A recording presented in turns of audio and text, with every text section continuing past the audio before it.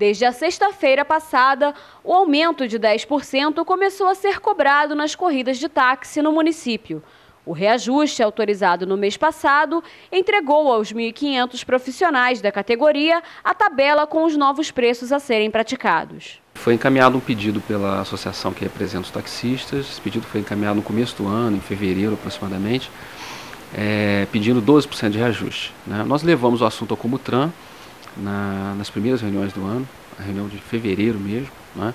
Na reunião de março teve a deliberação do Conselho é, que aquilo fosse encaminhado ao, ao, ao Executivo é, uma perspectiva de reajuste entre 8% e 10% né, da, da tarifa praticada até então.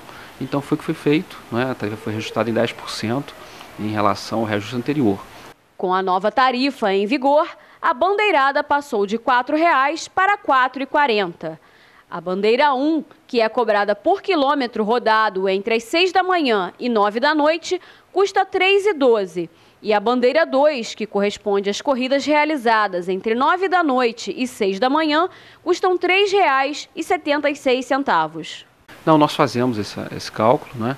Uh, aquilo aconteceu da seguinte maneira: é, na verdade, a, o decreto ele foi publicado em abril, né? mas só agora com a emissão da tabela, nós fizemos a, emissão, a entrega da tabela na semana passada para todos os pontos, é que começa efetivamente a acontecer a cobrança, não é? com a tabela. Os valores ainda não foram repassados para os taxímetros, pois para que isso seja feito, é preciso que o equipamento passe por aferição do Instituto de Pesos e Medidas. Segundo o presidente da CPTrans, já há uma previsão para que as aferições sejam realizadas. Enquanto isso, a consulta às planilhas de conversão de valores continua a vigorar. E já foi solicitado ao IPEM, né, que é o Instituto de Pesos e Medidas, que faça a aferição dos taxímetros.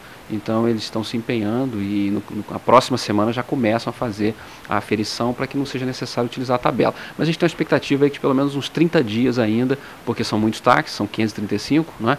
pelo menos uns 30 dias para é, que todos sejam, sejam aferidos, todos os taxímetros sejam aferidos e se é, descarte o uso da tabela.